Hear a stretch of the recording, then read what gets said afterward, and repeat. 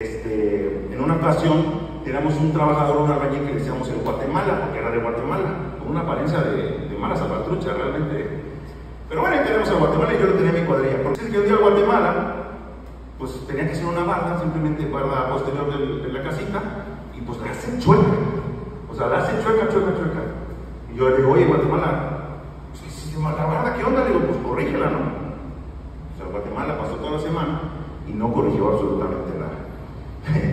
Llega obviamente el día del, fin de semana, para pagar el sábado y pues nosotros como residentes ahí este, sacamos las nóminas de, ellos y pues llega a reclamar, con una actitud un poco fuerte, ¿no?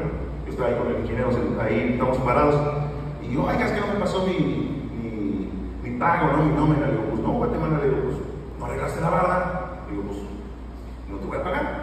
Arregla la barda y te saco el pago. Y dice, pues no. No, no, que no sé qué, pero se puso un poco intenso.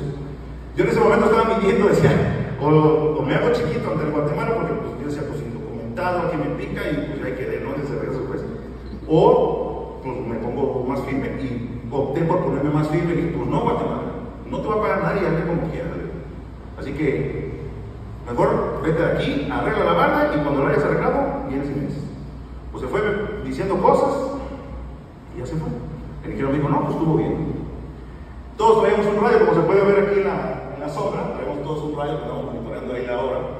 Y se ve que el Guatemala se fue a, a las oficinas este, y, con una chica, no, no sé qué le dijo, que alguien, un arquitecto, este, pues no le quería pagar.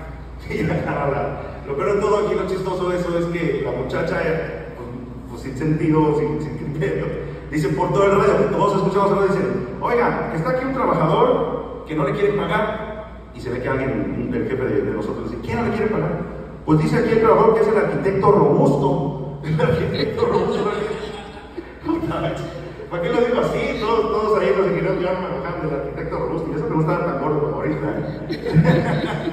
Pero bueno, al final de cuentas pasó eso. Al final de cuentas creo que Guatemala ya no regresó y ya tuvimos que tirar esa bardita y pues ya la hicimos bien, ¿no?